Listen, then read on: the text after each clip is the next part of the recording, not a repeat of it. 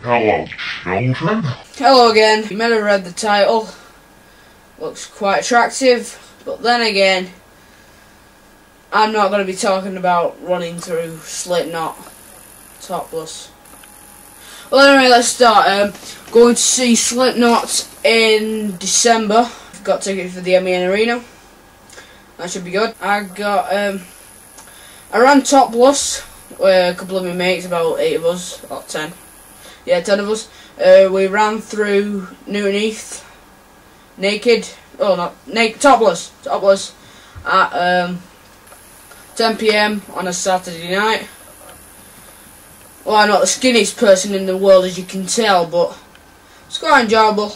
A guy came up to us and said, uh, "Are you gay, summer?" So one of my mates replied, "Yeah, it's Gay Pride Week." Not much to talk about really. Got new phone, Sony Ericsson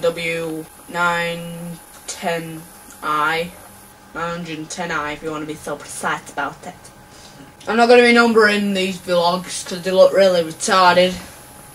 I like to wave my arms about to get the point across. On a quick note, can you please check out Lucy Galbraith in the description box. Uh, she's a video maker, like me myself. We're really good mates. Please subscribe to her, rate and comment her.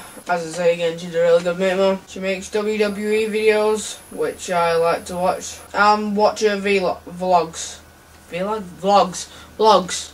We're both beginners at this kind of subject, but she's more professional. She likes to fade in and out, as I just got cut right there. Oh yeah, uh, thank you for watching this vlog. Um, hope you subscribe, rate, comment. Thank you for watching this vlog, and bye.